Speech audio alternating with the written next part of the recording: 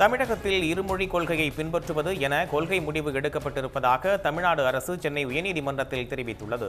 ஹிந்தி படிப்பதை யாரும் தடுக்கவில்லை என்று தமிழக தலைமை வழக்கறிஞர் உயர்நீதிமன்றத்தில் தெரிவித்தார். மொழிப்போர் தியாகிகள் தினத்தை ஒட்டி சென்னை கிண்டியில் உள்ள மொழிப்போர் தியாகிகள் மணிமண்டபத்தில் முதலமைச்சர் மு க ஸ்டாலின் தியாகிகளின் திருவுருவப் படத்திற்கு மலர் தூவி மரியாதை செலுத்தினார். முன்னதாக திமுக தலைமையகமான அண்ணா அறிவாலயத்தில் வைக்கப்பட்டிருந்த தியாகிகள் உருவப்படத்திற்கும் அவர் மரியாதை செலுத்தினார். இந்து எதிர்ப்பு போராட்டத்தில் உயிர் நீத்த தியாகிகளின் புகைப்படத்திற்கு சேலம் மாவட்டம் ஓமலூரில் உள்ள அதிமுக கட்சி அலுவலகத்தில் அதிமுக இணை ஒருங்கிணைப்பாளர் எடப்பாடி பழனிசாமி மலர் தூவி அஞ்சலி செலுத்தினார். மொழிப்போர் தியாகிகளின் தியாகங்களை நினைவுகூரும் வகையில் இந்த வீர வணக்கம் செலுத்தும் நிகழ்ச்சி நடைபெற்றது. தமிழ்நாடு முழுவதும் சேதமடைந்த நிலையில் உள்ள இருபதாயிரத்து நானூற்று ஐம்பத்தி மூன்று நகர்ப்புற வாழ்விட மேம்பாட்டு வாரிய குடியிருப்புகளை இடித்துவிட அண்ணா பல்கலைக்கழக தொழில்நுட்ப குழு பரிந்துரை செய்துள்ளது. சேதமடைந்த குடியிருப்புகளை இடித்துவிட்டு மறு கட்டுமானம் செய்ய வேண்டும் என்று தெரிவித்துள்ளது. உச்சநீதிமன்ற நீதிபதிகள் பதிமூன்று பேர் மற்றும் பதிவாளர் அலுவலகங்களில் பணியாற்றும் நானூறு பேர் கொரோனாவால் பாதிக்கப்பட்டுள்ளதாக தலைமை நீதிபதி என் வி ரமணா தெரிவித்துள்ளார். உச்சநீதிமன்றத்தில் தங்கள் புகார்களை அவசர வழக்காக பதிவாளர்கள் பட்டியலிட மறுப்பதாக கூறப்பட்ட புகாருக்கு நீதிபதிகளுக்கு உள்ள சிரமங்களை புரிந்து கொள்ள வேண்டும் என்று அவர் பதிலளித்துள்ளார். தலைநகர் டெல்லியில் கடும் குளிர் வாட்டி வதைத்து வருகிறது. அடுத்த ஐந்து நாட்களில் குறைந்தபட்ச வெப்பநிலை மூன்று டிகிரி செல்சியஸ் வரை குறையக்கூடும் என்று இந்திய வானிலை ஆய்வு மையம் தெரிவித்துள்ளது. இதனால் மக்கள் வீடுகளுக்குள் முடங்கி கிடக்கின்றனர். நடிகையை கடத்தி பாலியல் துன்புறுத்தல் செய்த வழக்கில் விசாரணை அதிகாரியை மிரட்டிய வழக்கில் நடிகர் திலீப் தொடர்ந்து மூன்றாவது நாளாக கேரள குற்றப்பிரிவு போலீசில் ஆஜராகி உள்ளார். அவரிடம் நேற்று பதினோரு மணி நேரம் போலீசார் விசாரணை நடத்தினர்.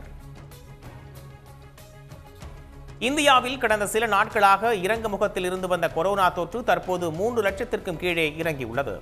கடந்த இருபத்தி நான்கு மணி நேரத்தில் தினசரி கொரோனா பாதிப்பு முப்பத்தி இரண்டு லட்சத்து ஐம்பத்தி ஐந்தாயிரத்து எண்ணூற்று எழுபத்தி நான்காக குறைந்துவிட்டதாக ஒன்றிய சுகாதார அமைச்சகம் தெரிவித்துள்ளது. முந்தைய நாளுடன் ஒப்பிடுகையில் இந்த தொற்று பதினாறு புள்ளி மூன்று ஒன்பது விழுக்காடு குறைந்திருக்கிறது. ரயில்வேயில் பல்வேறு காலி பணியிடங்களுக்கான இரண்டாம் நிலை கணினி வழி தேர்வு தேதியை ரயில்வே பணியாளர் தேர்வாணையம் வெளியிட்டுள்ளது. லெவல் இரண்டு முதல் லெவல் ஏழு வரையிலான தேர்வுகள் பிப்ரவரி பதினைந்து முதல் பத்தொன்பதாம் தேதி வரை நடத்தப்படும் என்று தெரிவிக்கப்பட்டுள்ளது. தேர்வு மையங்கள் விவரங்கள் மற்றும் அனுமதி சீட்டுகள் ஆர்ஆர்பி இணையதளத்தில் பதிவிறக்கம் செய்து கொள்ளலாம். திருப்பரங்குன்றத்தில் இன்சுலின் அளவை பரிசோதிக்கும் ஸ்டிக் ஆர்டர் செய்தவருக்கு காலாவதியான சாக்லேட்டை அமேசான் நிறுவனம் அனுப்பி வைத்துள்ளதாக புகார் எழுந்துள்ளது. ஓய்வு பெற்ற ஆசிரியர் ஜெய்சிங் பார்சலை பிரித்து பார்த்தபோது அதில் காலாவதியான சாக்லேட்டுகள் இருந்ததால் அதிர்ச்சியடைந்ததாக கூறியுள்ளார். புதுக்கோட்டை மாவட்ட ஆட்சியர் அலுவலகத்தில் உள்ள நில ஆவண காப்பகத்தில் பணிபுரியும் பதிவரை உதவியாளர் நாகம்மாள் நிலம் தொடர்பான ஆவணங்களை வழங்க ஐநூறு ரூபாய் முதல் இரண்டாயிரம் ரூபாய் வரை லஞ்சம் வாங்கும் வீடியோ தற்போது சமூக வலைதளத்தில் பரவி வருகிறது. அவரை பணியிடை நீக்கம் செய்ய மாவட்ட நிர்வாகம் நடவடிக்கை மேற்கொண்டுள்ளது. சென்னை தண்டையார்பேட்டையில் பதினைந்து அடி நீளம் கொண்ட பூஸ்டர் தடுப்பூசியை யாத்ரா சமையல் கலை தொழிலாளர்கள் வடிவமைத்து கொரோனா விழிப்புணர்வு ஏற்படுத்தியுள்ளனர். தடுப்பூசியை தண்டையார்பேட்டை சுற்றுவட்டார பகுதி முழுவதும் வாகனங்களில் வைத்து ஊர்வலமாக கொண்டு சென்றனர். புதுக்கோட்டை மாவட்டம் அறந்தாங்கி அருகே நூற்றி பத்து வயது மூதாட்டி இறந்ததை அடுத்து உறவினர்கள் மற்றும் கிராம மக்கள் ஒன்று சேர்ந்து அவரது இறுதிச் சடங்குகளை கரகாட்டம் வைத்து திருவிழா போல கொண்டாடியுள்ளனர் பொட்டு அம்மாள் என்ற அவருக்கு மூன்று மகள்களும் பேரன்கள் பேத்திகள் கொள்ளு பேரன்கள் கொள்ளு பேத்திகள் என எல்லாம் சேர்த்து அறுபத்தி இரண்டு பேர் உள்ளனர்.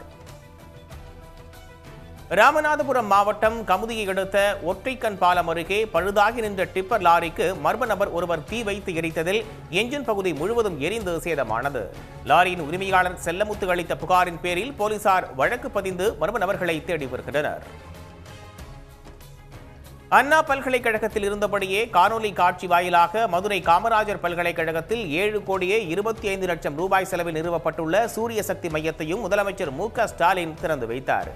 சூரியனையும் சக்தியையும் யாராலும் பிரிக்க முடியாது என்று அவர் குறிப்பிட்டார். உடனுக்குடன் செய்திகளை தெரிந்து கொள்ள சன் நியூஸ் பெல் ஐகானை கிளிக் பண்ணுங்க.